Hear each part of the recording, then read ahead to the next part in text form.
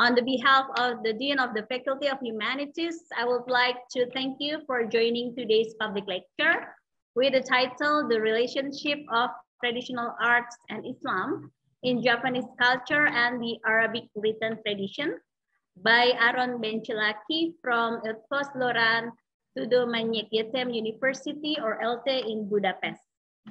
So this is actually a part of uh, Mas Aron, that's why I call him uh, dissertation. Uh, he's writing his uh, dissertation at ELTE and going to defend his defense uh, his dissertation next month. And today is a part of his dissertation progress. And today's public lecture will be divided uh, into three segments. The first is opening, the second is the presentation around one hour. And the third is question and answer session. So uh, in the opening, I would like to inform you that my name is Widya Smaramurti and you may call me Mara and I will be the moderator of today's public lecture.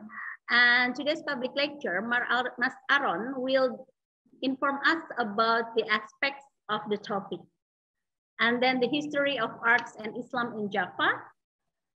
Uh, the third is gamelan and music in general. The fourth is wayang theater. The fifth is traditional dances and will be summed up in the summary part.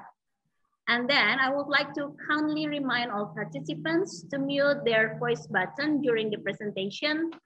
And we welcome all written questions, both in Bahasa Indonesia or in English, uh, in the chat box.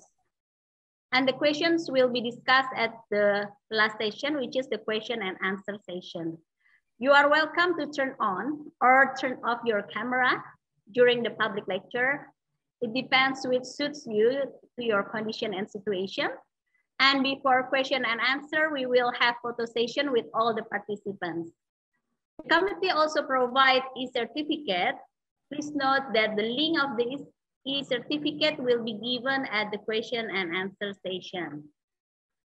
So now we continue to, uh, yeah, to the part of discussing about who is Aron Bence Laki. Mas Aron, uh, or Aron Bence Laki was born on February 22nd, 1988 in Székesfehérvár, Hungary. Mas Aron, sorry if I have misspelled the city incorrectly, yeah? So during his uh, school years, he was attending many classes, specializing in learning languages, studying English and German respectively. And in 2006, he started attending Eötvös Loránd Tudományok University or ELTE in Budapest in the Arabic Studies program. So uh, there, he learned learning Arabic language, Arabic history and culture, and about Islam in general. He graduated for his bachelor degree in Arabic studies in 2010 before he continued his studies to master degree in 2011, still at ELTE. However, this time he was attending Islamic studies program. So here he continued to deepen his knowledge of the Arabic language and started to learn Persian and Turkish as well. During his master studies, he also learned about the history of the wider Islamic world and about the different branches of Islam, including Islamic law, Sufism, and other Islamic sciences. He graduated from his master degree in 2013. During his master degree, he received two scholarships, spending some time in two Arabic countries, namely Tunisia and Lebanon. In 2014, he received the Dharma Siswa Scholarship from the Indonesian government, where he spent two years in Yogyakarta as a student of Universitas Negeri Yogyakarta or UNY. At UNY, he was studying Indonesian and Javanese language, as well as Indonesian culture. In 2017, he went back to Hungary and started his PhD studies at ELTE again, and his dissertation is about the connection of traditional Indonesian arts and the religion of Islam, examining both the Indonesian tradition and the written Arabic sources. During his PhD, he spent half a year in Yogyakarta, particularly at Universitas Gadjah Mada, between 2018 and 2019 for continuing his research. For the better understanding of the written sources, he also learned French, Dutch, and Chinese. So in here, I can see that uh, Mr. or Mas Aron Laki is extraordinary scholar. And then since 2017, he is working in the Arabic faculty of ELTE, teaching Arabic language, Arabic history, and Southeast Asian Islam. Since 2020, he's officially recognized as a full-time lecturer at ELTE. So without further ado, here I present you Mas Aaron Benchelaki. Monggo, Mas Aron. Thank you very much. Um, let me share my screen first.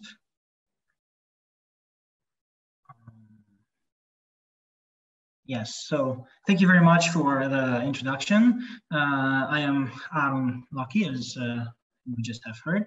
And today I'm going to present my topic about the relation of traditional arts in Islam, in Javanese culture, and in the Arabic written tradition. Uh, this is my dissertation topic. First, I would like to talk about the new aspects of the topic. Why is my dissertation uh, something new?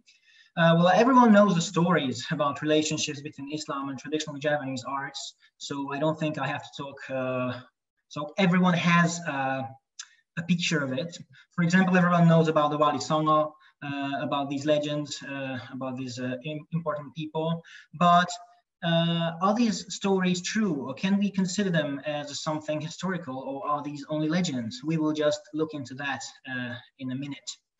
Indonesia also has a very long tradition of kitab kunings, uh, these books which were used uh, in the pesantrens to learn about Islam. These books were written in Arabic, most of them were written in Arabic uh, in the Middle East religious, this religious literature has to be compared with the legends. So uh, my dissertation is new because uh, um, not many scholars uh, did a comparison of these legends and uh, the Islamic law, the fiqh uh, literature and kitab kunings in general. And the other thing is that there's a long story how the relationship of Islam and uh, and arts changed in Java. And uh, this means that uh, that uh, many um, so many uh, researchers mainly give like the contemporary view only or just one historical period now i'm going to tell uh, the story uh, from the beginning to the end how this changed uh, First of all, the history of art in Islam in Java. In my dissertation is the longest section because uh, actually I'm the first one in my country who is uh, having academic research about uh, Indonesia. So my, most of the people don't really know about this.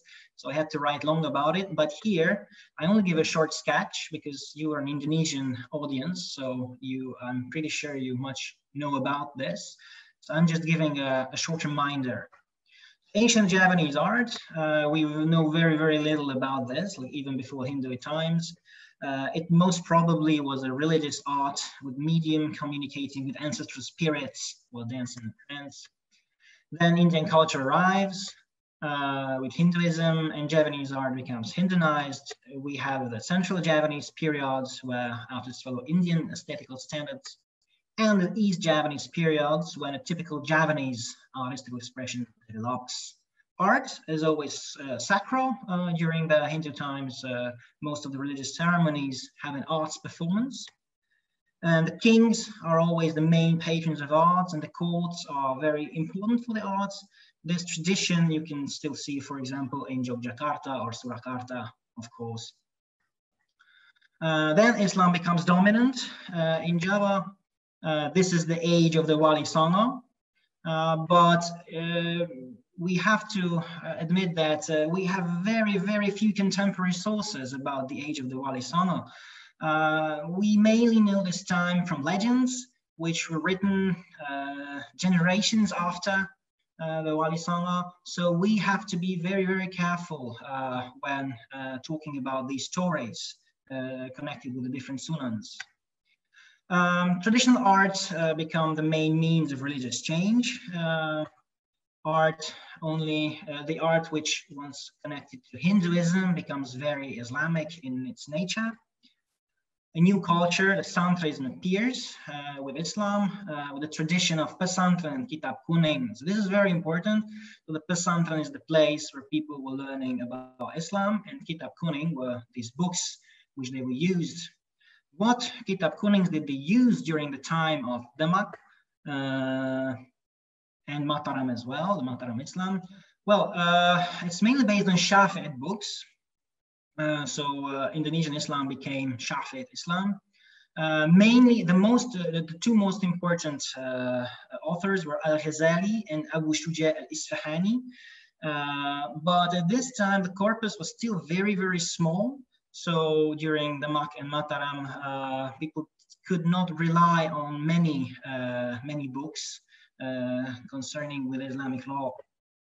The debate between the religious scholars already started around this time. We also know, this, for example, the stories about uh, and Kaum Abangan in Wali Songo and other uh, books also point that there, have there was some debate during uh, these times. Okay. Um, have some red dot lines. I don't know why. Uh, so the colonial times had even much more sources. And uh, with the formation of the four uh, great uh, art uh, kingdoms, like uh, centers, an artistic content, contest emerges. Um, this is a rapid development in the number of arts and artists the so-called classical Javanese arts are, evolve around this these colonial times. Islamic, uh, this new art, but it's not new art, so it's uh, um, the arts evolved during this time. They are Islamic in the message, but the style is still much more connected to the older older uh, religion.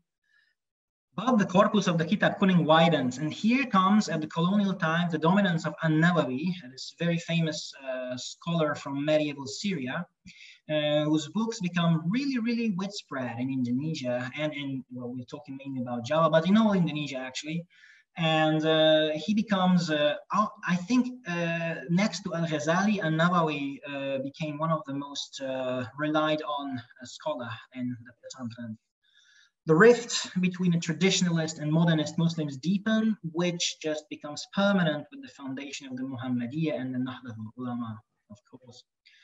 After independence, uh, the difference between uh, Kolot and modern Muslims uh, grows. Uh, during the years of Orde Baru, religion was first suppressed. Then at the 80s, Islam becomes important for the government too, which coincides with the revitalizing of traditional arts in Indonesia. Muhammadiyah becomes more tolerant uh, during the 80s and become and makes peace with traditionalist uh, Muslims, although not joining them, but they make peace. Uh, after the Reformasi, uh, new radical groups uh, appear. let's like, I think everyone knows that there has been this FPI, which was banned even last year, or we have other groups like HTI or Lashkar Mujahideen, many different groups, uh, which have a much more a, a, vision which is much more connected to Arabic culture and Islamic hegemony, as we can say. Uh, so the previously twofold discussions became tripartite uh, not just traditionalist and modern, but we have traditionalist, modern, and the radical groups. Javanese arts are still patronized by the big four courts, but of course, they are very uh, popular. Okay, so this is what you already know, I think. And now let's talk about um, the art forms in general, like uh, in in uh, in detail. So gamelan and music in general. Gamelan, this is the first important part. According to legends, uh, gamelan came from gods. Uh, and in Hindu times, uh, music was always very important in religious ceremonies for the Javanese. Uh, with its metallic sound, it still enhances a mystical feeling in the audience. So this is undeniable. Uh, many people said that this is true. And of course, according to the legend, Wali Songo used it to spread Islam. We all know the story. For example, Sunan Bonang, I think he's the most one credited with uh, using gamelan in, in uh, his uh, da'wah. But it's not just him. Almost all of the Sunans are uh, have connections with gamelan. And it's still part of religious ceremonies, just like the old times. Let's say Sekaten, I think, is the most important, uh, where you can see uh, still see the sacred gamelan of the kraton. Uh, it's a very important part of the, of the ceremony. Its Hindu origins and atmosphere is sometimes opposed by certain religious teachers. So there are people who assert that gamelan should be banned because of its, its, its Hindu uh, origins uh, and because it's a kind of music. Let's see what the Kitab Kunings have to say about it and what was during the time of uh, the Masa Islam, the Mataram in Java. So during these times, uh, there were many Kitab Kunings used, of course, but the two main Kitab Kunings were the Ihya Ulum al-Din from Al-Ghazali and uh, At-Taqrib al-Fiqh from Abu Shuja Isfahani. Well, the At-Taqrib al-Fiqh is a very good book but it has nothing to say about arts in general. So the main, the main uh, book we can consult from the earliest times of Islam in Java is the Ihya Ulum al-Din. So let's look into it. So the Ihya Ulum al-Din in general is not against music. Uh, Al-Ghazali in it writes that uh, music is a sum of sounds and sounds alone are not forbidden uh, he says exactly that, uh, for example, animals have sounds which can be very nice, for example, a bird. Uh, and of course, we cannot forbid an animal to sing. Even at this, also we cannot forbid people to speak. These are sounds. Music is just the sum of sounds. So the sum of uh, things which are not forbidden cannot be forbidden too. So Al-Ghazali says that music is a good thing. Uh, although he had some problems with uh, certain instruments like the rebab uh, or the different kind of lutes in Arabic culture, the cymbal kind of a drum, a kuba is a kind of a drum which uh, gets uh, smaller in the in the center and wider at the ends, uh, and the flute, mazamir in Arabic, is always very problematic in the Ihya Ulum al-Din but not because of their sounds. So as he said, the sound is not a problem. The problem was that in the time of Al-Ghazali, uh, people used these uh, musical instruments for different kind of, let's say, parties where uh, they, people were encouraged to drink alcohol and have uh, unlawful sexual affairs. So that's why he connected with the sound of these special exact instruments with immoral behavior. So he uh, said that these uh, instruments should not be played in any circumstances. He also categorizes music as useful and not useful music. Uh, a music, he says, is not useful if it's only for entertainment. So if you only play music just to feel happy, uh, then it's, it's not useful and it should be avoided, as he says. But uh, useful, but a music is useful if it has a positive effect in war, for example, like giving morale to the soldiers before a battle, or if it, it is enhancing religious feelings, like uh, during a religious festival, it, it can feel us closer to God or closer to the ceremony of it. Uh, and he said that, uh, that uh, useful music is a very good kind of music. And uh, in uh, contract in view of this, we can also think that uh, according to his book, that Sekaten is a religious ceremony. So according to Al-Ghazali, gamelan is a good kind of music. So the defenders of gamelan could say that yes, according to Ulumuddin, gamelan is good. But we also have evidence that, for example, that during the time of Mataram, the people were drinking alcohol, uh, uh, during uh, the even the Sekaten feast. So it is forbidden. Uh, so here there was a discussion between the different ulama saying that the defenders of gamelan could say that yes, it's not, uh, it's uh, no, it's good because it's religious music, and the enemies of this art form could say yes, but it leads to drinking. So they could uh, have a strong argument against it based on ulum din. In colonial times, gamelan developed further with new instruments entering the ensemble. Uh, some of them are problematic, according to the Ihya Ulum al-Din, And it's very interesting and kind of ironic that, for example, the rebab, uh, it might have entered gamelan because of Arabic influence, but uh, it was already a problem in the Arabic, uh, in the Middle East. Uh, so it's kind of an interesting, uh, interesting uh, aspect of it. Uh, as I have told, in colonial times, it was uh, mainly An-Nawawi's book, the Minhaj al-Talibin, which became the, one of the most important new books uh, in the pesantren milieu, we, from which we can have information about arts. Uh, Nawawi also says, in accordance with Al-Ghazali, that there are useless instruments and, and useful instruments. Uh, he says useless instruments are forbidden to be played, sold, or inherited. So he's kind of against uh, this kind of uh, uh, music.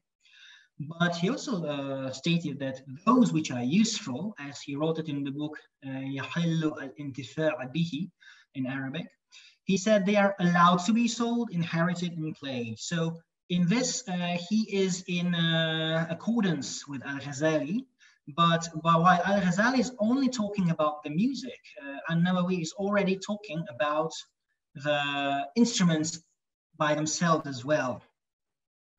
He also states that a witness in, in a lawsuit is not credible if he often plays the lute, the cymbal, the flute, or often listens to music or sing, while the tumbur, which is a kind of a lute, can be allowed during celebrations. The kuba, which is a kind of a drum I've just discussed, it's always forbidden. So this means um, uh, this this means that uh, um, even singing or, or listening to music can be uh, condemned uh, on in the base of the Minhaj al-Talibin, uh, so we can say that Al-Ghazali in general is more strict about uh, what uh, people could play or what people could listen to. But he still allows the useful music, while useless or even harmful music, which leads to immoral behavior, that's of course forbidden. So he's mainly accordance with Al-Ghazali, but a bit more strict. Um, we can see that gamelan had even more forbidden instruments like uh, the flute, there's suling, yeah, there is kacher, uh, there is rebab in the gamelan. Uh, and uh, this uh, could uh, give serious concerns for the more strict uh, kiais. And drinking, as we know, still didn't cease during festivals, like even the Sultan of Jakarta was drinking wine during Sekaten. So uh, this could be a very strong opposition against gamelan during colonial times. But on the other hand, uh, for the people who wanted to protect gamelan, it could be still categorized as useful music, strengthening religious feeling or preparing the soldiers to war. So uh, the discussion did not really change, but uh, the arguments uh, became wider the 20th century, the Pesantrens and Kiai start to rely on the Hadith literature. Well, this is very interesting because uh, Hadith uh, is uh, one of the bases uh, of uh, Islamic law. Uh, and in Indonesia and in Java, they were only started to look to these Hadiths at, at the turn of the 19th and 20th century. It's very interesting. But according to these, even more instruments could be forbidden. Like the flute is always in connection with Satan. Uh, stringed instruments in general, ma'azif, as uh, it said, are always forbidden, uh, according to the Prophet Muhammad. Um, on the other hand, according to other hadith, uh, the Prophet Muhammad allowed two girls to play music and sing during the Eid festival. So, uh, according to this, gamelan is more problematic because uh, stringed instruments are always part, like uh, not always, but uh, you usually have rebab and celempung maybe as well. Um, so this is forbidden. Uh, flute, suling is also uh, in connection with Satan in the Hadith. Mm, but there is still room for it uh, as an example of religious festivals, like as Muhammad also allowed uh, the girls to play. Uh, and the main, the main importance, but one of the most important uh, aspects of Gamelan is uh, during, for example, the Sekaten ceremony or other religious festivals. So uh, in base of this, Gamelan could still be protected by the traditionalist Kiais. And we can see this. For example, there's the Suluk Seh Abdul Salam, which is uh, talking about uh, gamelan uh, and its strong connections with Islam. So it has a, it's a, a strong symbolism which connects gamelan with Islam in this suluk. Uh, and it states that gamelan is a very good and very Islamic music indeed. But the existence of this suluk also shows us that uh, there was a very, very strong debate if it's if allowed or not. Uh, the Nahdlatul Ulama is, uh, is protecting these legends, uh, uh by protecting Gamelan, uh, according to legends about the Wali Songo, of course, which we all know. And Kitab Kunings, mainly relying on Al-Ghazali and An-Nawawi, and new commentaries of these books stating that it is useful music. Uh, for example, there's the Fathul Qarib al-Mujib, which uh, also talks about useful and useless music. Or another example, the Fathul Mu'in, which state that useless instruments are even allowed if we don't play on them. This is a very interesting uh, note from uh, Al-Malibari, uh, but uh, it still says that even the instruments are allowed uh, to have if they are useless as well. Um, the most important thing which we have to note, not just about gamelan, but mainly about all the arts uh, we have in Java, is that there are no explicit mentions of the main instruments uh, in gamelan, like gong, kenong, keto, bonang, gandar, and all of these. Why? Very easy. Uh, all of these kitab kunings were written in the Middle East, very far away from Java. And uh, centuries before the Javanese embraced Islam. So uh, it is virtually impossible to find anything connected with gamelan in any kitab kuning actually. But uh, of course, we can use the analogy, the qiyas, as they say in Arabic law, in the Islamic law, sorry. Um, and but the, every argument based on qiyas is never a strong argument. So uh, there is a very big uh, uh, range, how different Kiais can interpret different sentences from different books, even the same sentences could be interpreted in a different way because you will find no except explicit mention of instruments which you can be found in the gamelan, only similar instruments, uh, but they are not the same. Uh, Muhammadiyah, uh, the beginning was uh, kind of against gamelan, we can say, but today they are accepting that and music in general. They are even making their own musical albums, although it's not gamelan, but uh, it's important that they acknowledge that music can be useful. Uh, the new radical groups uh, are against gamelan because of its Hindu origins and stating that it destroys Islam. And they even condemn any kind of music, saying that it's not part of Islam. And they even state that Muhammad was against music. We had this hadith before about the ma'azif, uh, stating that every stringed instrument is forbidden and they have another interpretation of this exact Arabic word, the ma'azif. In their interpretation, it means every kind of instrument, which is actually not really uh, uh, um, precise, but they understand it this way. And on base of this hadith, for example, they try to ban every kind of music. Okay, this is about uh, gamelan. Let's go on and see the Wayang theater. So what we can find in the Kitab Kunings about the Wayang theater, or more precisely, what can we not found, but what sentences could be interpreted uh, in connection with the Wayang. Short sketch, Wayang originates either in Java or it came from India. There are different theories. I will not go into these now. Uh, in Hindu times, it was always connected to religious ceremonies, uh, stories are mainly from ancient Hindu epics. Even today, like the most uh, famous ones are, the most popular ones are Ramayana and Mahabharata, as we also know it. Uh, the Tantu Panggelaran, which was written in Hindu times, also states that Wayang was invented by the gods like Brahma and Iswara. Uh, Islamic legends also, they connect it with the Wali Songo, like the Wali Songo used Wayang as a medium to spread Islam in Java. Uh, but the main in, inventions attributed to the Wali Songo and the people uh, connected with these stories um, already existed in the Hindi period actually, like uh, different sunans were uh, attributed to put jewelry uh, to the figures or the Blencong, Gadebo, Kayon, uh, that these were all introduced by Sunans or for example the Kayon and according to the legend was introduced by uh, Raden Patah but we can see Kayon for example depicted on Chandis and even the Panakawan which is attributed to Sunan Kalijaga. The first, if I'm not mistaken, the first mention of the Panakawan is from the Gatot Kachasraya, written in 1188.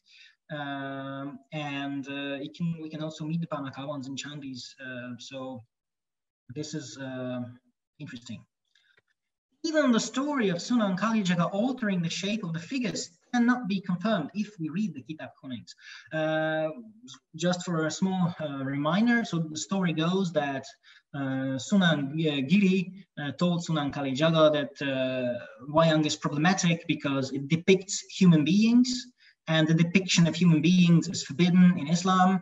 Uh, and that's why Sunan Kalijaga made the uh, figures become different, like uh, long, they made the, their, he, he made their arms longer, reaching the knees, their waists too thin until it uh, was already like unrealistic for a human being, noses big, and so on. And uh, after this, Sunan Giri was happy, saying that, okay, these are already not people, they're like monsters, so it's fine to use them. Well, first of all, I would like to state that in Islamic law and fiqh, there is no explicit ban on depicting humans. Uh, this is a very, very uh, uh, difficult topic, uh, even for Islamic scholars uh, it is mainly makruh. So makruh is a thing which is not forbidden explicitly, but, but if it's better to avoid it. So if uh, you can avoid it, you should avoid it. But if you think it's necessary, for example, in this case, teaching uh, or spreading Islam, uh, you can do it. Uh, if we look into the Ihya Ulum ad-Din, the most important book uh, which was uh, in circulation during the time of uh, the Al-Ghazali writes that clay dolls which depict animals should be broken and textile objects with pictures of animals in it can be legally sold as well, but watching them is not allowed. Of course, we watch Wayang, uh, so that uh, should be a problem, but it doesn't talk about leather. Uh, Kulit is made of leather, and he could have written clay, textiles, leather, and so on, but he didn't. He only wrote clay and textile. So based on this, Wayang cannot be uh, banned. Even there's no mention about human beings in the book. In the whole book, there's no mention about human beings. He's talking about animals, not depicting animals in clay and textile. So this means that according to the main Kitab Kuning read during the time of Demak. Um, the story of Sunan Giri telling Sunan Kalijaga that you should not depict human beings is not uh, that much credible. On the other hand, sacred Hindu texts forbid the depiction of gods and heroes as normal human beings, like the Brihat Samhita, the Vishnu Dharmottara, and others, uh, they even state that they should have long arms reaching the knees, extremely thin waists, and so on. Um, in light of these, uh, these uh, uh special iconographic uh, specialties of the figures might have already been, so they might not even connect to Islam, they might connect to Hinduism actually. this special iconography is also present in some old Javanese Hindu temples, not all of them, but for example, Candi Jago or Candi Sukuh, if we uh, see the, the reliefs there, uh, you can already find these very long arm, thin-waisted uh, uh figures. So in general, we can uh, state that at the time of Demak, there was no Kitab Kuning, which could be a basis for banning Wayang at all. So the story of uh, uh, having this debate is uh, has to be like reconsidered. But Wayang, of course, did become very Islamic. Uh, there's no, no, no denying this because many details were changed in the stories. Like we know the Kalimasada, which was a Hindu thing and it became very Islamic. The death of Salya is also like connected to Islam in a indirect way. Uh, Drupadi become only the wife of uh, Yudhishthira. Srikandi is set as a, as a solidly female, which in India is not that uh, much uh, uh, sure uh, at the time of the Mataram Sultanate, there were no new Kitab Kunings which did add to the topic, uh, but there was a debate about Wayang, uh, which we can be we can trace in different Wayang books. Uh, there were some people uh, who were not interested in Islamicizing Wayang, like the writer of Kitab Manik Maya, but others uh, wanted to connect with Islam and the Arabs. the writer of the Kitab Konda, for example, is really trying to uh, like marry Hindu gods with uh, prophets of Islam and uh, giving stories, uh, very innovative stories actually. But uh, he really wants to uh, show that Wayang is really Islamic in nature. the legend of Sunan Kalijaga shaping the Wayang and inventing the Panakawan, which we were talking, also appeared, which shows that there was already some kind of debate. So we, we, we the people needed a story uh, which was uh, connecting uh, Wayang uh, with Islam. Uh, so the need to legitimize Wayang in these uh, Islamic times already arose. In the colonial times, the story of Amir Hamza enters Wayang, given it Islamic story, which is still Javanese in style on the other hand. The story of Devaruchi also mixes the two words. So people who know this uh, know this as well, that it's a Hindu story, but uh, explained with Sufism and Sufi uh, terminology. Uh, the Minhaj al-Talibin, the book of An-Nawawi, which was uh, very important in colonial times, states that no animals should be depicted in an intact form. The head should be cut off, so they would come alive, they would be already dead, so they couldn't move. This is a very important part.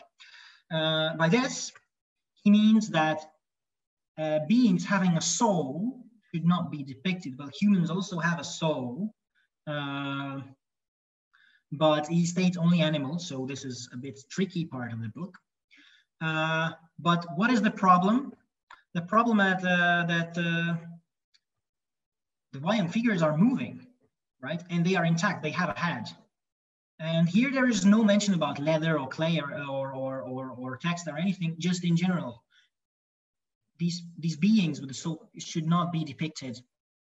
Uh, so the story of Sunan, Sunan Kalijaga becomes problematic again in colonial times uh, because the Wayang figures are moving. And the Serat Centini also shows that the debate exists, uh, that existed at these times, that it existed in, on the basis of these are depicting uh, beings with a soul. There are enemies of Wayangs among different santris and kyais, but this book in general protects it uh, on a symbolical basis. Um, it says that uh, through Wayang it's easier to reach God because it, depict, it uh, depicts how the word uh, uh, is and that we can uh, get closer to God through the Wayang. So we see that there was a debate, there were enemies of it, but there were a lot of people protecting it. In the 20th century, the Hadith literature gave also a new argument again. Uh, from these, it was already obvious for the Javanese that people depicting beings with a soul will be punished in the day of resurrection. Uh, angels will not enter a house with pictures of living beings inside, and that all these pictures should be destroyed, as different hadiths say. Uh, this means uh, from this is already clear that no animals or no people should be depicted. Yeah. But what about monsters? Yeah. What about the monsters? Because these, as we know from the story, monsters, these figures are not people, not animals. So the legend of Sunan Kalijaga becomes necessary again for defending Wayang. So it's like an in and out motive here in Javanese history about this so the legend of Sunan Kalijaga becomes uh, useful, then it's uh, other people who can uh, have a strong argument against it, then it becomes useful again, and so on. Uh, After independence, many new kitab kunings were used, but uh, not many new informations that we can find in these books. Just because I have said, like even with the Gamelan, of course, Wayang was unknown for these medieval Arabic and Persian writers. So we can only have some analogous things. The Fathul Mu'in uh, states that no one should accept an invitation if he knows that the host has pictures of living beings in the house, even if these beings don't exist. Uh, the writer uh, explicitly uh, has an ex uh, example with a, a, winged horse, a horse with wings. They, they state that they don't exist, but they could be existing if they would come alive by, let's say God could have created them. So even these are forbidden to be depicted. So monsters are not allowed to. So the story of uh, Sunan Kalijaga here again um, becomes problematic again. Uh, but, but the Fathul Mu'in also states that even depicting anything uh, with, a, with a soul is permissible so it's only makruh. It's permissible if it teaches little girls. The story is that uh, girls uh, with dolls are uh, allowed to play because it teaches them to motherhood later. Uh, so it is permissible if it teaches. Well, wayang is used for teaching. Oh, of course, not only little girls, but it is used. It is a, a very important part of education in Javanese culture. So, according to this, the defenders of Wayang have a very strong argument that, okay, it might be makruh, it might be uh, problematic, but we use it for teaching. So, Wayang is useful. The Nahdlatul Ulama also encourages Wayang, emphasizing its role in education. Uh, in the beginning, Muhammadiyah was ambivalent with wayang. Uh, they stated that it's while it's not a bad thing, but in general they did not really encourage it. But nowadays they encourage wayang as well, uh, talking about the, its connection with Islam. Um, the radical groups are against wayang based on its Hindu origins and the depicting of human beings, as we have seen. So they use all these counter arguments. And they also state that it's not even not educating the people, but it has a bad influence on society, like spreading uh, ungodly uh, views and the stuff. This is their point of view, of course. The last topic, uh, the traditional dances, uh, which we will uh, look into. Um, in ancient Java, uh, the medium was always, the medium always connected with the ancestral spirit through a dance. So it was very, already very important. After the arrival of Hinduism, dances become Indian in style. Like the finger movement uh, of the dancers is typically Indian, and even the the the Kasar and Alus styles of dances in today's uh, dance uh, art in Java is it corresponds. Uh, there is this book, the Natya Shastra. It's a very old Indian manual of dances, the, the Lasya Tandava, Kaishiki Arabati, and all of the others are really, really similar to the Salsa and Alu style uh, dances. So it became Indian in style. And let's just state this now. The distinction between courtly dances and folk dances already existed uh, during uh, these uh, Hindu times. Dances are always part of religious ceremonies, as we know from different, uh, different texts. And they were mainly for appeasing gods and telling Hindu stories. Some dances we know today already started being shaped by the end of the Hindu era. Well, of course, they were not the same as today. Like we have mentions of Ronggeng or, or uh, Wayang Wong, or we have no mentions of Bedaya actually, but we have uh, mentions of dances which are really similar to that.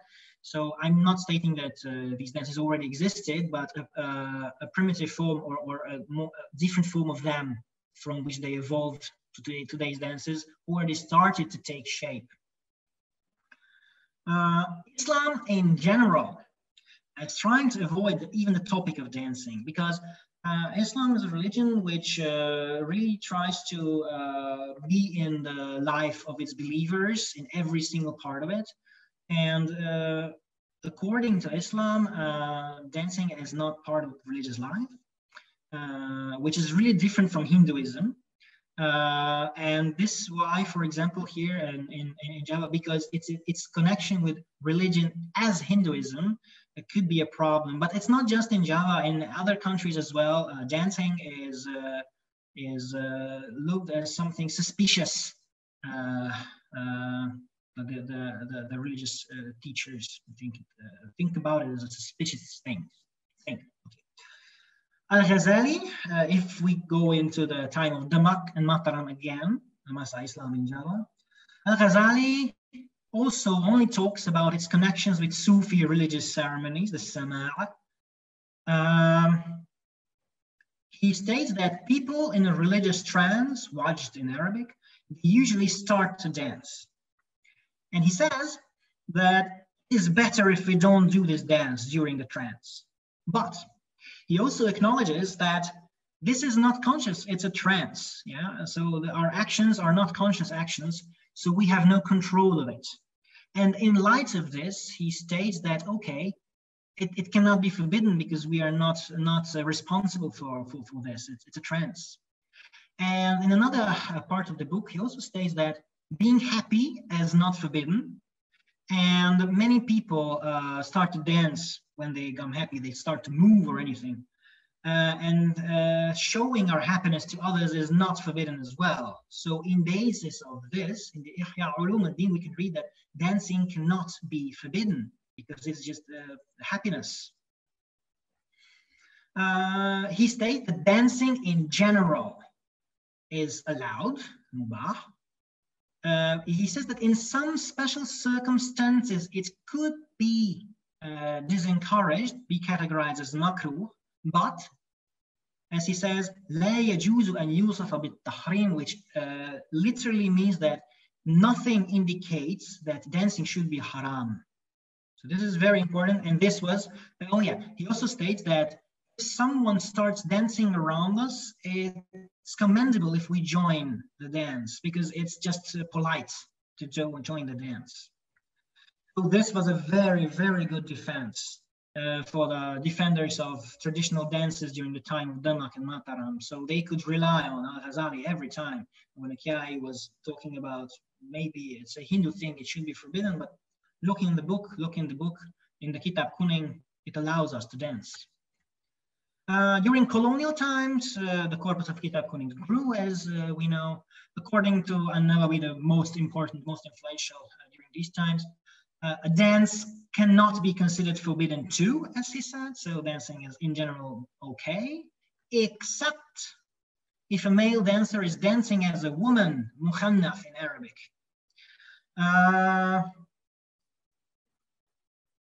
While An-Nawawi in general also supports dancing, uh, we know it was common practice in Java for male dancers to dance female roles. So some special kind of dances could be forbidden according to An-Nawawi already. Also, uh, An-Nawawi states that someone cannot be a witness, so someone is not a good Muslim in general, if he usually dances until collapsing. We have spirit possession dances like Kuda Lumping, for example, the dancer usually collapses at the end. Uh, so this is a problematic thing. Uh, we can see uh, that uh, as time passed, as, as from the uh, time of Demak and Mataram, the Kitab Kunings uh, all kind of supported dancing.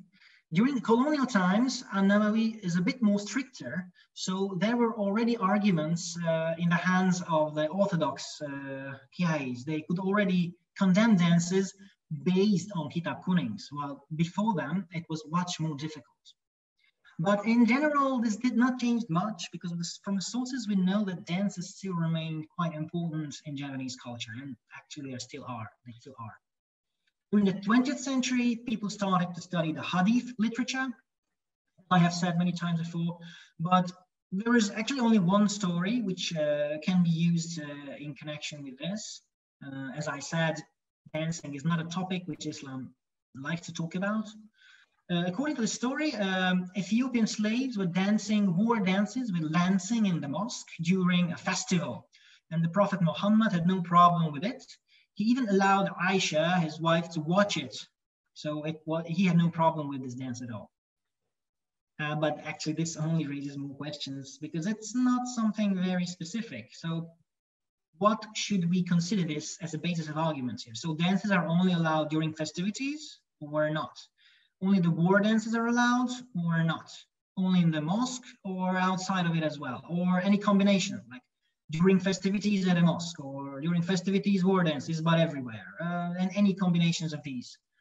So this just enhances the argument. This does not changes much, but it uh, gives more and more uh, uh, arguments, more and more written sources which an argument could be based on. Uh, Java also had a lot of religious festivals, as we know, and we know many different war dances from different kratons. So according to this, uh, this uh, hadith, dances could be protected very easily. Although on the other hand, uh, the more strict kyais could state that, okay, but it's uh, not in the mosque, it's not a festivity or, so, or, or, or anything else. Uh, after independence, um, the Kolot Muslims supported dancing, while the modernists were against it, uh, basis uh, on a more strict interpretation and supposed immoral behavior. They stating that dancers and dance groups uh, have very immoral behavior. They are doing uh, like uh, unlawful sexual life and drinking alcohol, and it was a problem. what they stated it. There's no proof actually. Um, the new Kitab Kunings also have very few plus information about the topic. Uh, uh, the Kashifatu Sajah, for example, it was written by Nawawi Bantani. He's a very good Indonesian ulama. I would encourage everyone to read Indonesian ulama as well, because uh, uh, as I have noticed, many Arabic ulama are used, but as I have stated, uh, they are not familiar with the Javanese arts and it's much easier look at in an Indonesian uh, ulama's book. But Kashifat al-Sajah was written in Arabic uh, by Nawawi Bantani. Um, so he states that no one should dance in a mosque except during Sufi dhikr. This is a bit in contrast with the hadith actually, um, but he's still allowing it as a, as a religious music. Sufi dhikr is a religious festival. Well, not a festival, it's a religious uh, practice. So um, it allows this. This means that dancing is allowed in a mosque during religious ceremonies, according to this, or it can be interpreted like uh, as, as, as, as this. And how he forms the sentences in the Kashifatu Sajah, uh, we can also, he does not state it explicitly, but it can be understood as, uh, as uh, dancing outside the mosque is allowed anytime in general. So he, he stated in the mosque at religious festivals. Uh, so no one in the mosque, but at religious festivals, it's okay. And this also um, um, implies in the way how he forms the sentence that it is allowed outside the mosque in general and not just in festivals. So based on this interpretation, the Nahdlatul Ulama can protect every traditional dance, and they do and they do. The Nahdlatul Ulama's only condition, so the traditionalist's main condition, that the dancer should dress modestly without showing the parts of her body or his body uh, too much. Uh, but in spite of this, uh, they still encourage traditional dances. We know that traditional uh, Javanese traditional dances, many women dance with uh, their, their, shoulders uh, naked, up, up, from the shoulders which is actually uh, in contradiction what the Nahdlatul Ulama said. I, I, I have went to Pesantren and talked with the leaders there of Ulama, and they all state this, but uh, but uh, yeah, uh, they still said that yeah, traditional dances have no problem with them because it's tradition. It's tradition. Um, yes, the Muhammadiyah was initially against dancing in the beginning, but it has changed by now. Uh, dancing, they state, is not forbidden as long as it promotes good behavior and the dancers dance modestly. And even state, they even use this useful and useless uh, uh, label, which we could see at the music, that uh, dances can be useful uh, and these are good. And based on this, uh, they do not attack the traditional Javanese dances, so they are fine with them but they do not encourage them either. So Muhammadiyah now is trying to uh, to uh, develop a new dance tradition, uh, which is in their point of view is more connected to Islam. Um, but the Javanese, they acknowledge that Javanese traditional dances exist and they do not uh, have anything against them, but they do not uh, that much encourage them. Um, the radical groups are against every form of dance, uh, these new radical groups. In their opinion, is just a waste of time and money, which a Muslim should never do. Not to mention that traditional dances often tell Hindu stories, like Wayang Wong, for example, so they should not be staged in their uh, point of view. They say even war dances are not allowed if they encourage drinking and bad behavior. Uh, like in the hadith, from the hadith, it was clear that war dances are allowed, but they say they even even want to forbid that because they say it could uh, lead to to things which are haram. Another problem of them as uh, women's dances. They state that a woman, a woman should never dance uh, in front of non-family related men, even if they dress modestly and make no erotic moves during dances. An audience can imagine these, and these will later lead to immoral behavior. So uh, we can see how they think. So that even the slightest possibility of something bad will make the whole topic forbidden with the war dances as well. Like it could lead to, to drinking, so don't do it. Uh, the women's dances, even if it's a very modest dance, uh, it could lead to immoral sexual behavior. So it's better to avoid it at all, at all costs. Uh, to support this point of view, they often quote books outside of the Shafi'ite tradition. So they not only use these kitab kunings, which were used in Indonesia at the old times, but they go to every, we know there are four big madhabs in Sunni Islam, uh, and they use all of the books, uh, which is, uh, uh, who knows about the different madhabs knows that sometimes about the same topic that four different schools have very contradictory uh, ideas and very contradictory verdicts. So it's not always credible. I mean uh, that someone should decide which tradition to use. Uh, and uh, they very often use opinions of the modern Saudi ulama as well, uh, which are known to be like usually very strict. So uh, they usually try to use that kind of book, which supports their point of view um, and it's usually outside of the uh, Javanese uh, Kitab Kuning tradition. Uh, a very short summary. Uh, traditional arts in Java are rooted in Hinduism, as we've seen. They are mostly sacral in nature. They were sacral in nature in Hindu times. They are not sacral now, but like officially it's stated that they are not sacral, but we still have this atmosphere of sacrality during these performances with the arrival of Islam, most of these become became part of local Islamic culture. We have seen all the stories we have and all the hidden meanings, all the all the Sufistic meanings of uh, mystical meanings of these stories and uh, the arts. Why there is a big corpus of Kitab Kunings, it's very difficult to find sentences which can be related to the traditional Javanese arts. Uh, as I have said, they were written very long ago in another part of the world. Uh, that's a problem. And even the actually, my, when I was researching, the main problem was finding the parts in these books which are which could be related to arts because uh, books uh, are very good uh, because they are uh, uh, they have a very good system. So now I'm talking about salat, now I'm talking about zakat, now I'm talking about this one, but arts has no section in it. Uh, so it's very difficult to find them. And uh, in many books, uh, there are only just a few sentences. Uh, but this gave, gives place to a wide range of different interpretations, as we have seen. On the basis of the same sentence found in the same book, the different people can describe it as supporting their point of view. And this was always like this in Java, mm, and I think it will always be. Nahdlatul Ulama and the traditionalist Muslims try to protect every old tradition based on the tolerant interpretations of Kitab Kunings and on legends of the Wali Songo. It's a very important part of their argument, the Wali Songo. Uh, the Muhammadiyah and the modernists are in the middle of the spectrum today. Uh, they are not uh, criticizing the ancient traditions, but in general they accept them.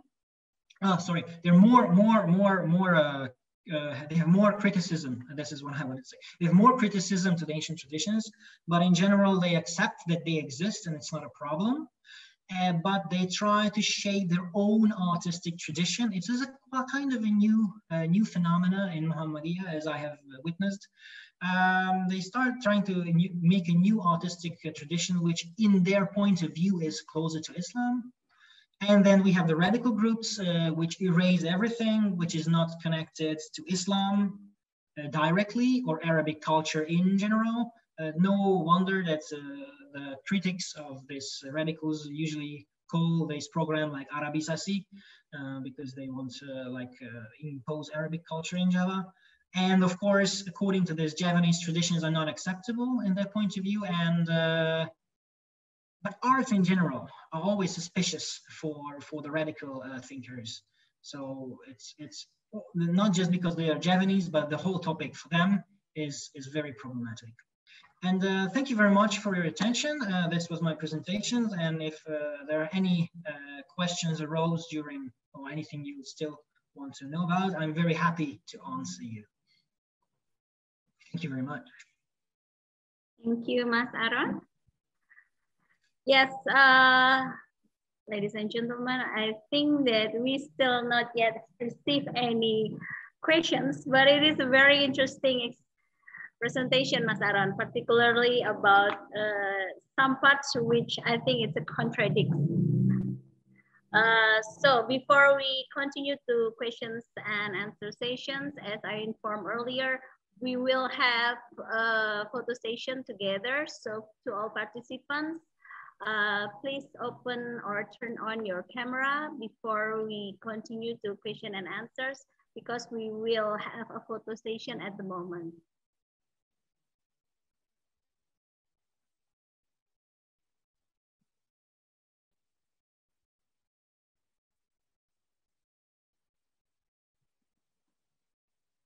Okay, we have one, um, what fun. Okay, uh, later after the photo session, we will continue to question and answer session. Even though you have not written any questions, you may also raise your hands. Then I will give uh, an opportunity for you to uh, state your question directly to Mas Aron.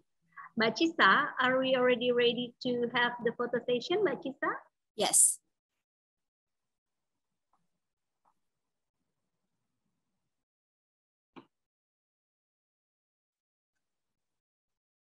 Okay, I'll start with the first slide.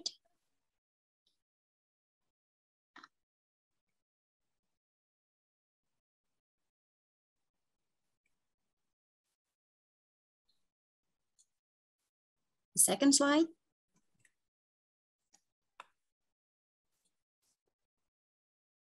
The third one.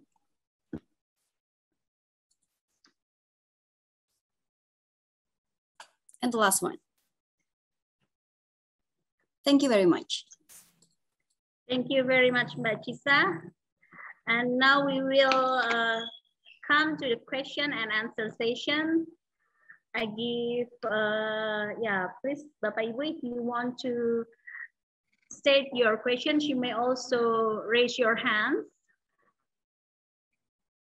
While waiting for uh, other to ask questions, we also have first one is Mas What What Fun. Mas Watfan, you earlier raised your hand. You may state your question, Mas. Monggo.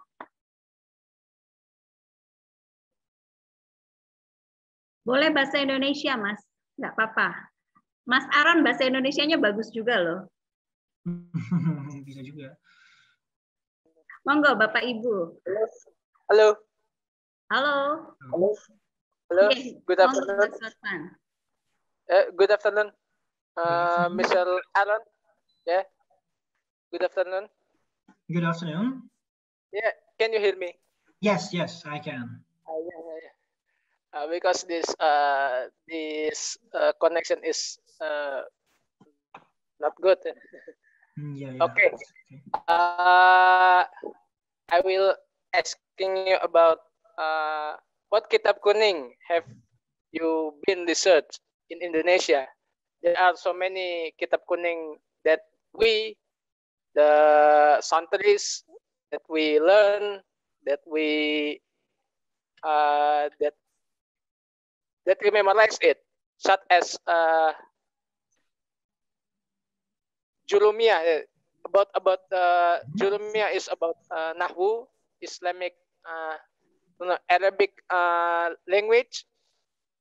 So about fiqh, many of us uh, study uh, Fathul Qorib or Fathul Mu'in that that's uh, have you presented in before Fathul Mu'in. Yeah. But uh, yeah, Fathul Mu'in. But uh, uh, many of us uh, in uh, many pesantren, okay, thank especially. you, uh, Mas Watpan. So, Mas Aaron, what types or what kind of kitab kuning that uh, you use in your research and probably whether those kitab kuning also related to any particular uh, Islamic boarding in Indonesia? Yeah, Islamic boarding, yeah. Salafiyah, Syafi'iyah, mostly. Yes. Salafiyah, yes. Is Syafi'iyah and the Islamic modern Islamic boarding school didn't teach it. Okay. Yes. Okay, Yes. thank you, Mas Watpan. Yes. Yeah. Um, well, um, as we know, that the Kitab Kunings have a, have a very big corpus actually in, in, in Java. Um, but uh, most of the, I mean, like the Kitab Kunings can be uh, categorized. There are different books. There are about fiqh books. There are usul al-fiqh. Uh, there is uh, hadith books. There are uh, tasawwuf books. Uh, many, many different kinds.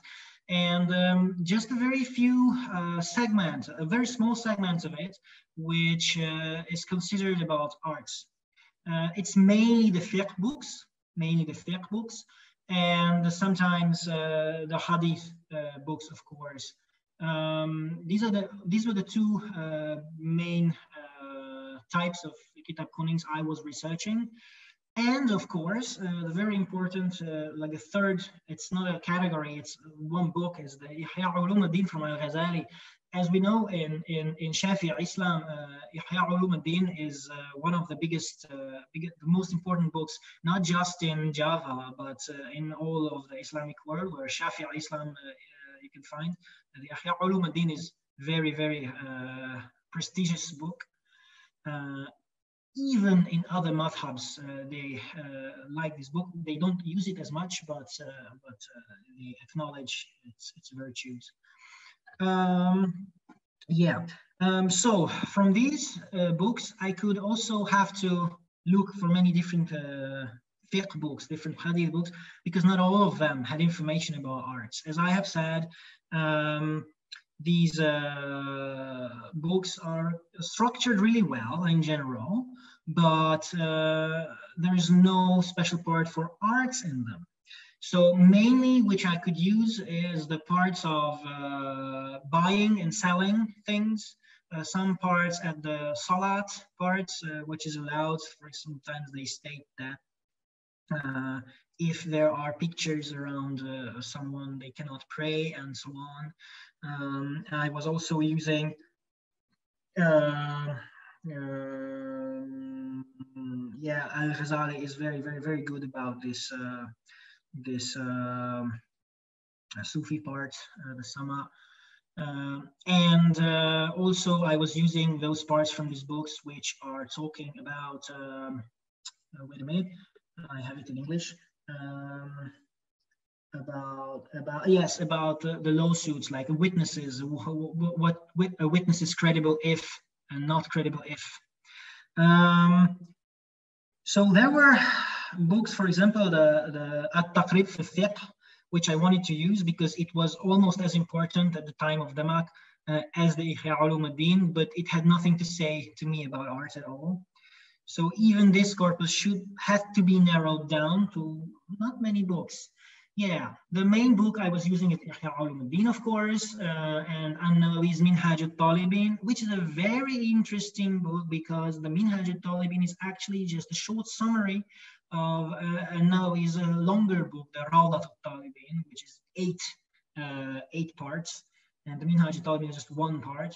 Uh, but in Indonesia, the Rawdatul Talibin was not used in the ancient times, uh, but now, uh, actually, I'm not sure if it's even used today, but I can imagine in some pesantren, but uh, it, it was not used before. Uh, so only the Minhaj al-Talibin and, um, and some uh, other books like this. and the, the time when the Kitab Kuning corpus grew very big was already at around the beginning of the 20th century. Yeah, because of the, the uh, development of communication and development of travel, uh, new books could be brought to Indonesia much easier. Uh, so a lot of new books, but, but uh, in Islamic tradition, in Islamic tradition, we see the, the golden age of, uh, of Islamic sciences around, ended around the 15th century. Since the 15th century, there were no new, uh, I mean, there are many new books, of course, but they could not say anything essentially new. They are mainly, they are mainly uh, commentaries of older books. Many commentaries of older books, uh, sometimes connecting different older books together or, uh, or give some point or just uh, sometimes they are just correcting something from the older books. So they could not give a lot of new things, although we have a very big corpus of Kitab Kunings now, but the information in them is very repetitive, always stating the same things in a different manner. Yes, I was consulting uh, many different books, Fathul Qarib as well, uh, the Kashifat al-Sajjah I have said, uh, the Fathul Mu'in, but there was other, the Muqaddimat al-Hadramiyah, or, or uh, many I I have a list of them, but it, it's a lot. It's a lot. It's like it's like 20 books, but they didn't say anything essentially new. There were some books which were really good, like the Ihya, the Minhaj, and, and, and others, but they did not state a lot of new things uh, in general. Yeah, I have been, for example, in, in Pesantren in Krapyak in Jogja. I was uh, talking about books do they use. I try to use those. Uh, I also went to the Muhammadiyah Center in Yogyakarta, uh, talking with uh, them, and I was also asked them of what do do they use. Uh, also about the radicals, I was mainly consulting their different blogs and internet pages where they were like describing on what on what uh, basis do they condemn this and that, and there were a lot of good sources mentioned. So yeah, these were the books I was mainly using. I don't know if this answers uh, is uh, uh, this is what you were waiting for. okay, uh, thank you, Mas Aron. So I noticed that the Kitab Kuning it seems like it grew and have adjustment according to particular era. Mm, yeah. Yeah, and we also continue to the next question because it's related. Uh, in here, we have okay, Pak Ali Akbar. Mengapa Muhammadiyah belakangan ada perubahan sikap yang lebih longgar terhadap seni budaya? Sejak kapan dan siapa tokoh Muhammadiyah mempengaruhi perubahan ini? Oke, okay, oke. Okay. Saya jawab dalam bahasa in, in, in Indonesia atau bagaimana?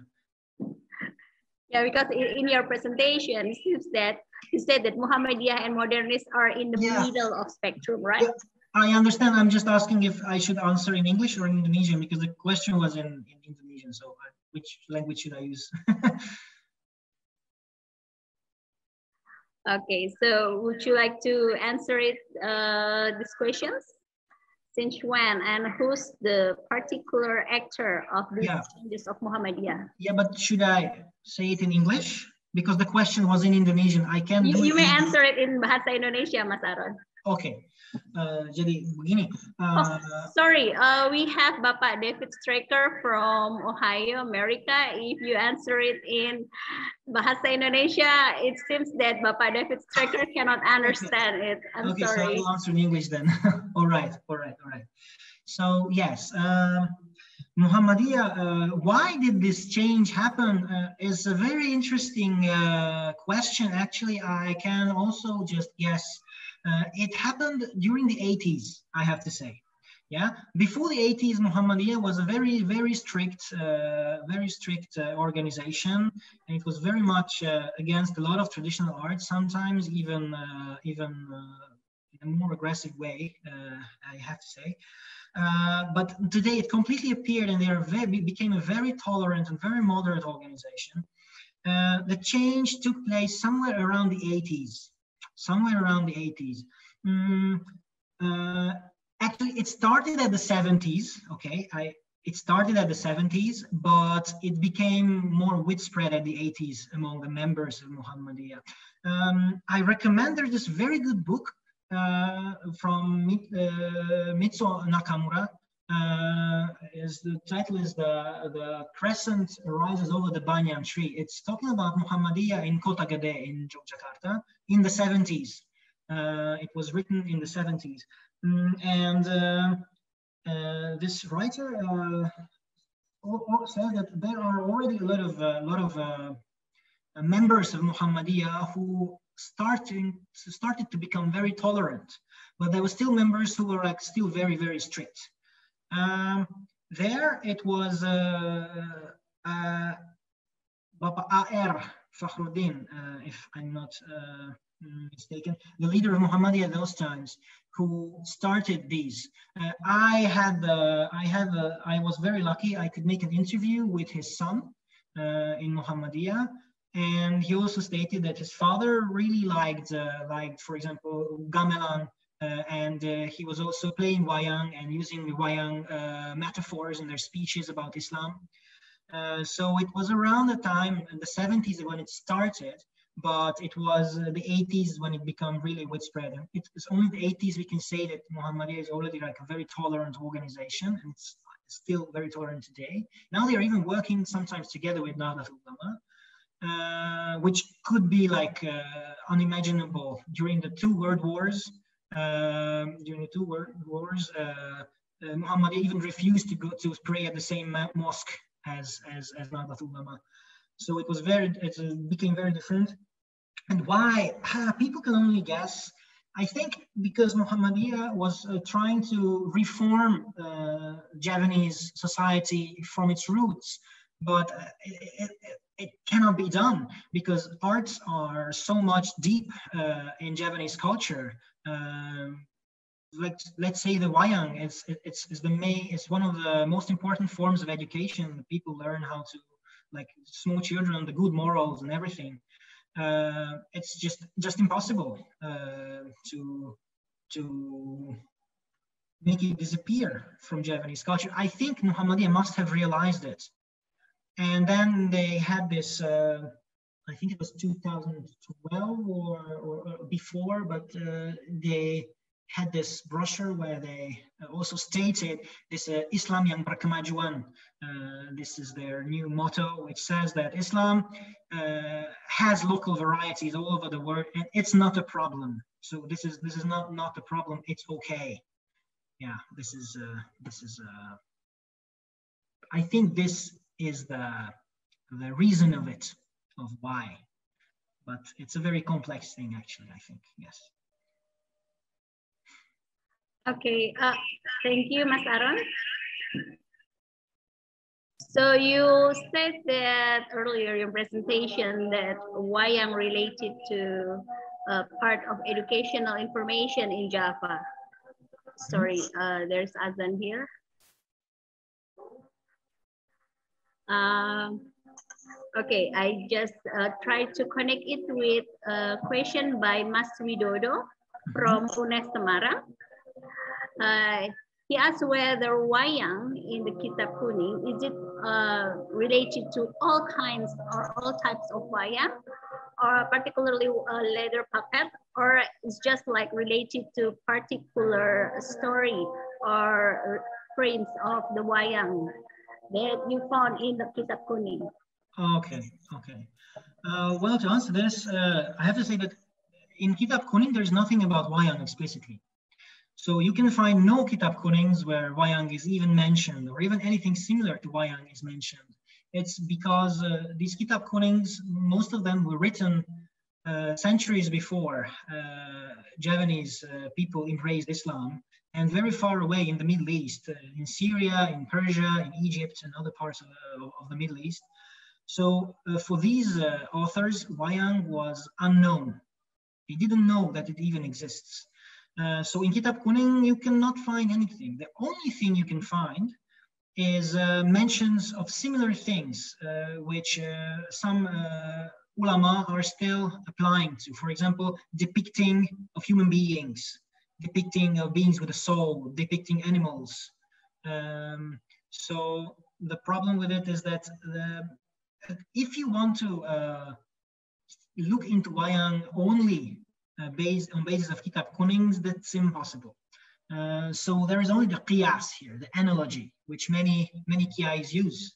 So uh, depicting as, for example, as I have said before, like depicting uh, uh, depicting animals in textile, you should not watch them. This is what's said, but wayang is not textile, and so on. In some other books, only say depicting them is not good. Then its leather is always should be forbidden, but it's also not really uh, uh, explicit because most of the times it's just categorized as makruh and not haram, uh, which in general it's still permissible. Yeah, the if you want, really want to uh, dive into the different lakons and different uh, different types of wayang, it's much more useful to read the wayang manual books like the Kitab Kanda, Kitab Manik Maya, or or uh, others like the yeah, so many different books which are which are talking about specific Wayang stories. And it's also uh, might be very useful to read the Serat Centini. Serat Centini is a very, very useful information about the time of, of, of uh, beginning of the, of the 19th century. Um, because it talks about uh, ex explicitly talks about Wayang and its connection to to Islam, and there might you might find some some specific lakons, different stories. Yes.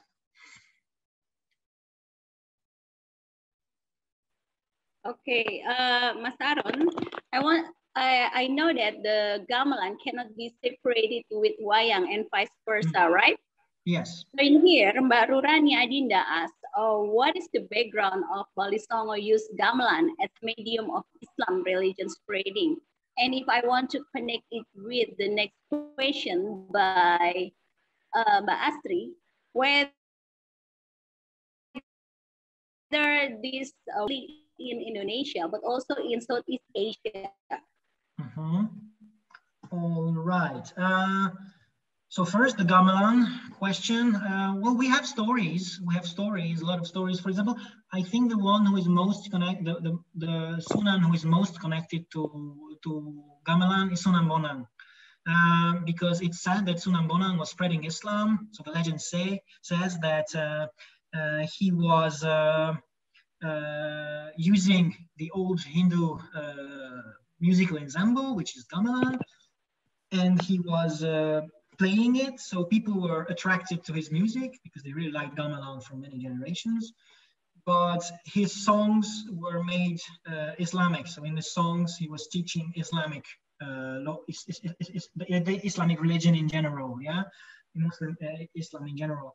And that's why uh, a lot of people were listening and they, they went home, they remember the lyrics, and that's how Islam spread. Even uh, there is uh, this instrument inside gamelan, even called bonang. Many times it's uh, attributed to Sunan Bonang. So the legend says that it was he who invented this instrument and the like. Other very, uh, I think, very known story is the Sekaten festival. Sekaten is, is, is, is played at, at Maulid, so the birthday of Prophet Muhammad uh, Sekaten in Jogja and in, in Solo even today.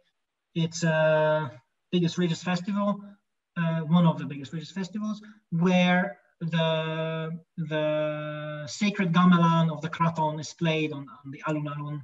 Uh, and uh, it's been played for seven days and people come and, and, listen to it. And the story says that it was Mm, it's, it's it's attributed to different sunan. Sometimes it's Sunan Kalijogo. I have even read Sunan Bonang and and uh, one other I forgot. But the most important thing is that it was attributed uh, to that because uh, because the same story as with Sunan Bonang. So people got interested in the music, but it had Islamic uh, lyrics, Islamic things to teach, and people remember that. And there is a lot of symbolism about gamelan, like the, there is the pelog and the slendro gamelan. So the different uh, numbers, uh, the seven and and and uh, and the five. Uh, the five is that the five. It, the, the five can mean the the five uh, pillars of Islam as well, or the five prayers a day, um, and and so on. So there is a lot of symbol. Even like they say that the the gandang is like the imam uh, uh, say, saying the prayer first and all the other instruments follow it. So that's that's that's the, the rakyat was like also praying. So there's a lot of lot of connection of gamelan with Islam, um, which was definitely uh, an a, acculturation of, of, of the old ensemble to Islam. And the second question was, uh, yeah, if wayang uh, happens in other parts in Southeast Asia. Well, yeah, yes. and the, the Swayang in Southeast Asia also originated or related to Hinduism. Oh, um, yeah, uh, you can find uh, Wayang in uh, like similar to Wayang, I have to say. I have to think similar to Wayang, like uh, in Indonesia. In, in no, Wayang in Indonesia and in Malaysia is is okay. We we know about that. Southeast Asia, yes. Uh, in Thailand, for example, there is the Nang uh, which is very, very similar to Wayang. It's very, very similar to Wayang. And they also uh, play, they mainly play, play the Ramayana. So Hindu story, yes. So it is, it is related to Hinduism, of course. Yes, yes, yes, yes. Uh, yeah. But from other parts of Southeast Asia, actually, I don't know. But, but uh, I know from India, for example. So there are very similar shadow theater in India as Wayang. Um, and uh, but it's not as widespread as because in Java, like Wayang is one of the most important arts, yes. But in India, it it used to be important. We know from different sources, but now it's kind of a dying dying tradition. So you can, cannot find it in, in many parts of India. But we have a lot of lot of uh, of uh, books telling about from the old times. Actually, the first mention of shadow puppets in the whole world is from India. Yeah.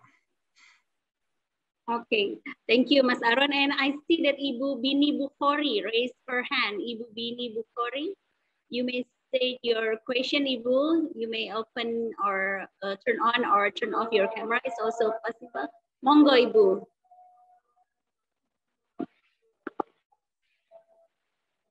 Ibu mungkin bisa di-unmute. Please unmute your uh, button first, Ibu, before speaking?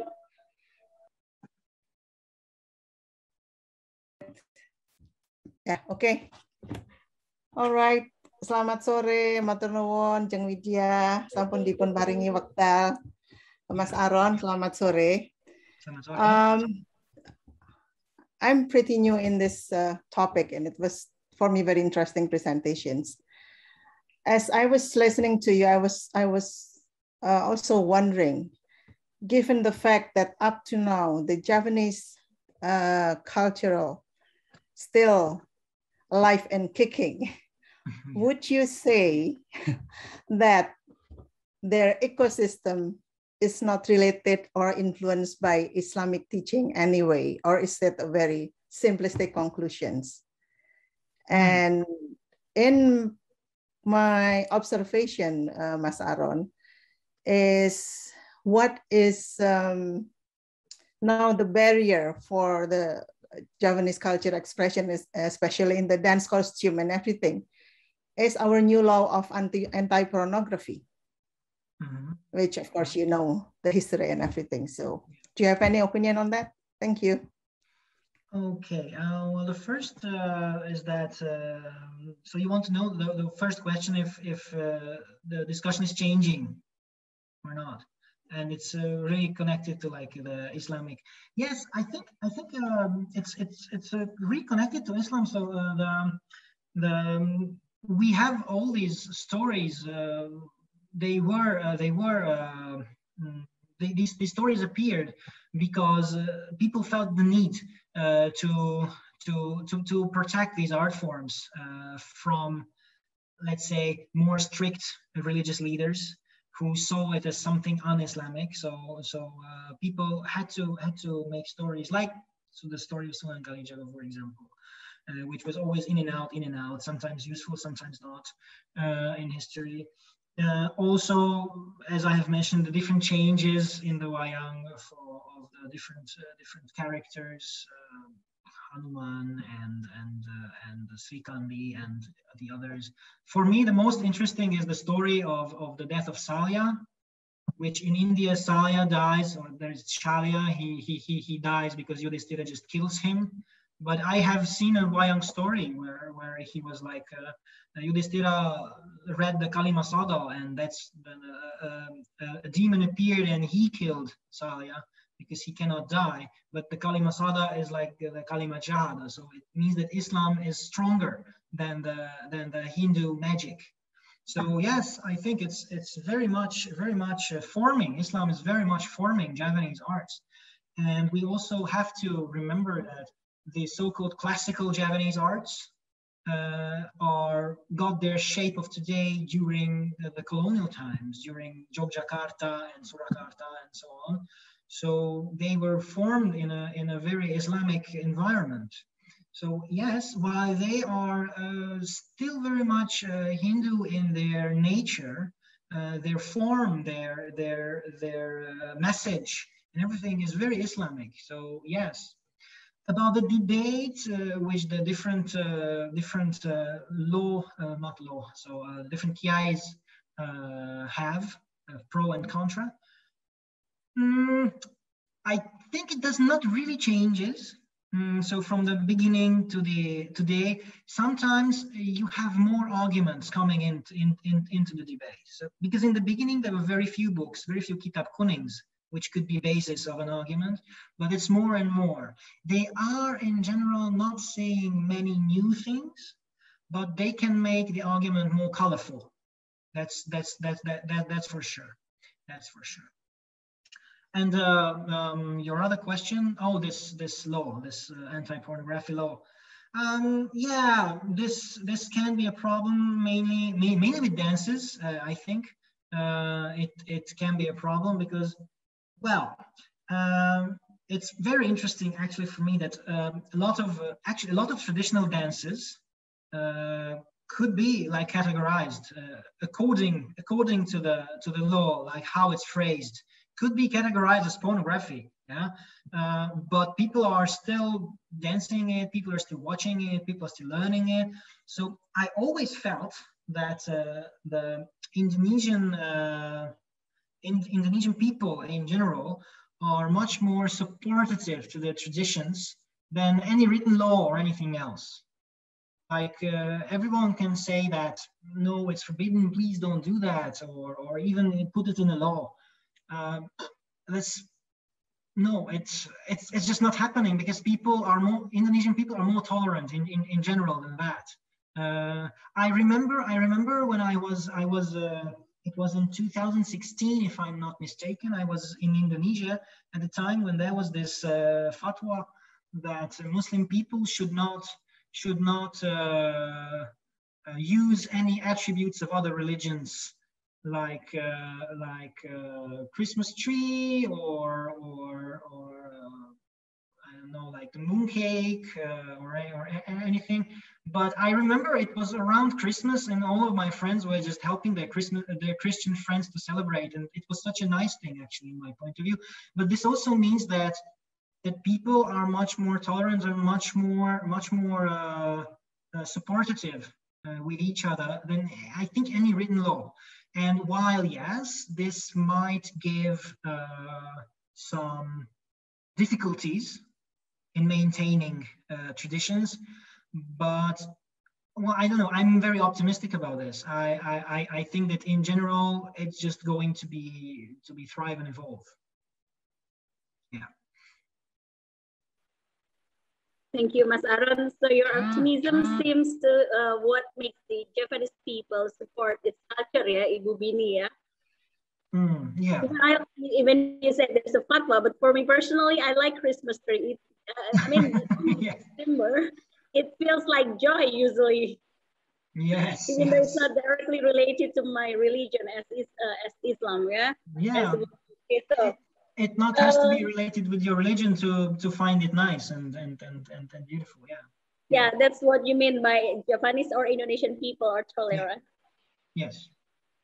Okay, now uh, I would like to uh, ask, uh, continue with the questions. We still have three more questions, but the first one is uh, Ibu Triwinarti, whether Kuda Lumping also written in Kitab Kuning. But I remember that based on your presentation, you said that uh, uh, in Islam, dance or in Kitab Kuning, dance in general is allowed. However, dance which relate to, well, man uh, dance as a woman like Lengger is forbidden. Mm. While in uh, Kuda Lumping is usually a difference because some people said relate that Kuda Lumping is related to magic because there, yeah, there's the, the actors or the dancers, they, they make it like glasses or something like that. So uh, have you found any information about it in Kitab Kuning? Um, yes, uh, with uh, with Kuda Lumping, um, yes. So one of the one of the problems, which I also I think mentioned that, uh, for example, uh, the Minhaj al-Talibin states that people should not. I mean, those people who dance until collapsing are are not credible as witnesses. So in general, they are not a good person. That's what what he says in the book.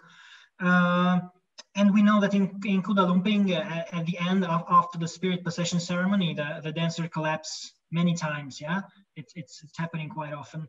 Um, so that can be can be uh, forbidden based on this. Yes, the other problem with Kuda Lumping is the spirit possession.